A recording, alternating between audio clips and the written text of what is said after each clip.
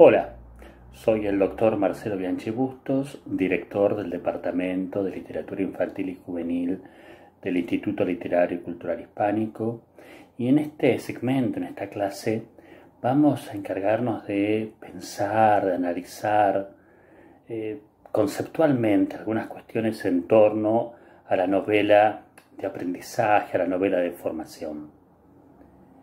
Para retrotraernos tal vez a algunas ideas básicas, tendríamos que pensar en Bakhtin, quien en Estética de la Creación Verbal analiza la relación entre novela este, y educación a lo largo de la historia. Y él registra algunos antecedentes importantes, ya en el 400 a.C., con Genofonte, que escribió la Ciropedia, Hacia 1554, o sea, en el siglo XVI, aparece en España el Lazarillo de Tormes.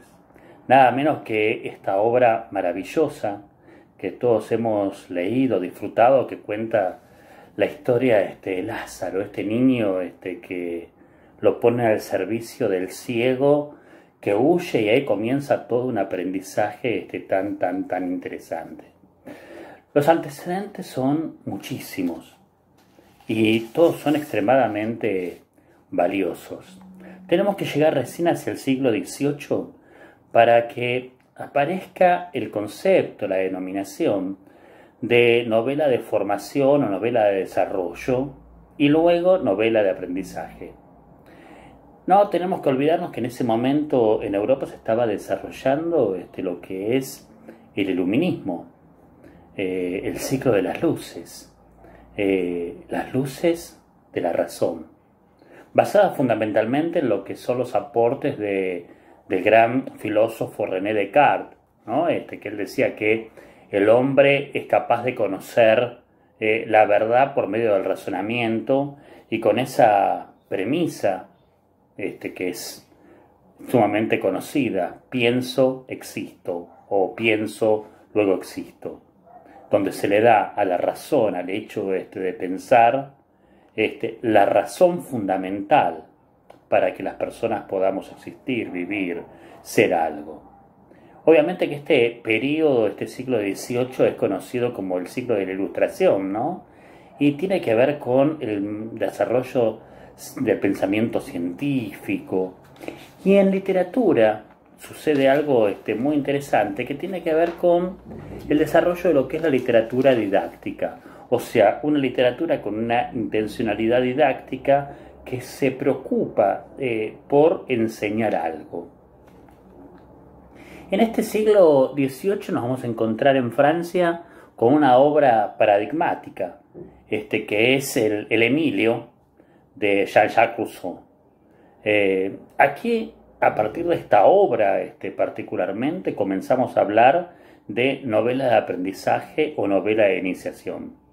Entonces, así como en el Emilio se introduce y se crea la noción de adolescente, no creada hasta, este momento, eh, bueno, también se crea este, este concepto y comenzamos a hablar, reitero, con una obra también paradigmática de novela de aprendizaje. El modelo más destacado, según muchos críticos, este, es una novela de Goethe, que son los años de aprendizaje de Wilhelm este, Meister. Acá lo que se narra es la vida de un hombre este, desde su juventud y la trayectoria por distintos momentos de su vida, distintas cosas que van pasando eh, y que todo tiene que ver con su formación. Lo interesante es que este género, en este momento este determinado, tiene una función que podríamos decir que es propedéutica, ¿no? Pues la iniciación del personaje eh, que se va transformando podría ser transferida de alguna manera al lector. O sea que el lector podría llegar a tomar, a sacar algún tipo de aprendizaje de aquello que se estaba este, escuchando, de que se estaba leyendo. En la literatura inglesa es muy interesante este, el aporte de David Copperfield, de Dickens, este, una novela escrita este, en 1849. Acá este, David este, es huérfano de padre, vive con, su madre, con, Clara, en un ambiente sumamente feliz, más allá de esta orfandad, hasta que su madre este, decide casarse este, nuevamente. Y en ese momento que se casa con alguien de una posición económica muy holgada, pero extremadamente violento, comienza un camino muy difícil para el personaje, porque primero es llevado este, como pupilo a un colegio, pero al poco tiempo, ante la muerte de su madre, lo saca y lo manda a trabajar, em, conociendo y describiendo magistralmente este, una fábrica este, de Londres. Es decir, es una novela de aprendizaje maravillosa y al mismo tiempo es una pintura de época que nos sirve como para conocer lo que era la revolución industrial en Inglaterra. Bastín, analizando distintos tipos este, de, novelas, va a hablar de la novela de Vagabundeo, que es esta novela este, del Lazarillo de Tormes, la novela de pruebas, donde hay obstáculos o pruebas que tienen que ir este, superando el protagonista, con una sucesión de lo que es abundancia, pobreza, pérdida. Y por último, la novela biográfica.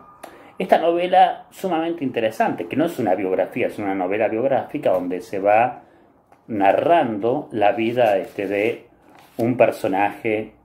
En todo esto lo que se observa es una idea muy fuerte de camino y la importancia del camino, del camino de la vida, que cada una de las personas vamos a transitar. Y si hablamos de camino, hasta tendríamos que retrotraernos y pensar si la comedia del Dante no es una especie de obra de aprendizaje.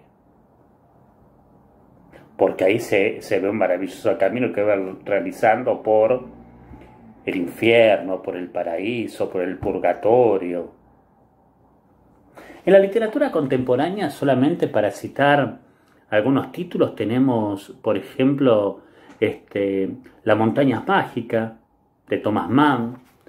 Eh, tenemos una obra de Joyce muy, muy interesante, que es el retrato este, del artista adolescente.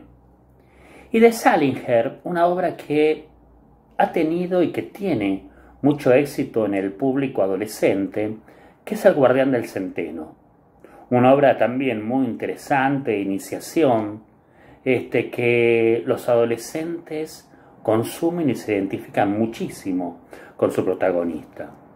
En América Latina creo que se destaca este, Mario Vargallosa Los Cachorros y contemporáneamente hay una obra que muchos la pueden haber criticado eh, por haber sido un gran bestseller, por haberse llevado este, a la pantalla, que fue Harry Potter. Harry Potter, este, de, Rowling, es también una novela de aprendizaje. Este, y si seguimos toda la saga, absolutamente este, todos los tomos, vemos cómo este niño termina transformándose este, en un adulto y cómo va aprendiendo a lo largo de cada uno de los tomos. O si pensamos en la versión fílmica de cada uno de los films, este, hasta ser este adulto. En Argentina son muchos los autores que también han cultivado la novela este de aprendizaje. Se destaca en primer lugar Roberto Pairó, que hacia 1910 tenemos que pensar en las, divertidas aventuras del nieto de Juan Moreira. Eh, es interesante pensar en el género gauchesco, pensar en 1910, porque recordemos que fue el año del centenario, centenario de la Revolución de Mayo, y con esto este, lo que se quería hacer era revivir una serie de valores vinculados con lo vernáculo este, fundamentalmente. Acá lo que vemos es este, a Mauricio este, Gómez Herrera con una función también propedéutica, como decíamos anteriormente, en la época del iluminismo, que lo que hace es generar el rechazo, porque nadie se identifica con él como personaje, este, todo lo contrario, sino que es un personaje que uno tiende este, a rechazar. Luego tenemos a Don Segundo Sombra, este maravilloso libro de Ricardo Guiraldes, ¿no? Este, donde tenemos al personaje de Fabio Cáceres, que es guiado por Don Segundo Sombra en todo este aprendizaje de las cosas del campo y que le cuenta las costumbres, que le cuenta leyendas, mitos, este como el caso del herrero Miseria, maravilloso de, nuestra, de nuestro folclore. Y tenemos además el juguete rabioso de Roberto Ar. Hay una cosa curiosa, que tanto Don Segundo Sombra como el juguete rabioso, las dos son de 1926. Es una coincidencia en el año, pero también es una coincidencia con respecto a algunas cuestiones genéricas. Eh, al respecto, este, el doctor José Luis de Diego dijo una cosa muy interesante. Entre las semejanzas, la más obvia, dice de Diego, es que se detienen en dos historias adolescentes de 14 años que se inician en la vida. Entre las diferencias, no menos obvia, resulta el contraste entre el ámbito rural y la escenografía urbana. Como novelas de aprendizaje, resultan simétricamente opuestas en las estrategias de iniciación, en los modos de configurar los contextos de aprendizaje y en la resolución de la aceptación social del sujeto ya maduro. Entonces es muy interesante pensar en estas novelas este, contemporáneas que tienen algún punto en común y que también se diferencian y se diferencian muchísimo. Vemos una continuidad en toda nuestra literatura. Por ejemplo, en la literatura este, de Manuel Puig y en lo que sería la tradición de Rita Hayworth, en Flores robadas de los jardines de Quilmes de Jorge Asís, hasta en Respiración artificial de Piglia. Y por supuesto, en esta novela que estamos pensando juntos, analizando juntos, este que es Vivir se escribe en presente, de Alejandro Ruemers. Si pensamos simplemente en lo que nos dice el paratexto, esta puerta de entrada este que tiene todo texto, y por ejemplo esta novela, en un momento dice, en vivir se escribe en presente, Ron, Fernando, Alexia y Michael se enfrentan al dilema de estas circunstancias protagonizando una historia cruda y profunda, en la que el amor, la amistad, las relaciones entre padres e hijos, la vocación y el destino se entrecruzan y generan un entramado de situaciones que nos hacen reflexionar sobre cada una de las pequeñas o grandes decisiones que tomamos a cada instante. Fíjense, lo que tenemos aquí en la novela este de Roemers es este camino y este aprendizaje, como lo tenemos en el Emilio, como lo tenemos en tanta cantidad de las novelas este, que les he ido mencionando. Entonces, considerando este, esto de nuevo, se trata de un género muy, muy, muy antiguo, pero que por suerte los autores contemporáneos y en especial los autores argentinos lo han retomado. Y la novela de Ruemers nos invita a revisitar el género y a pensar de qué manera opera eh, este viaje, esta novela de aprendizaje, de iniciación a lo largo de toda, de toda la historia.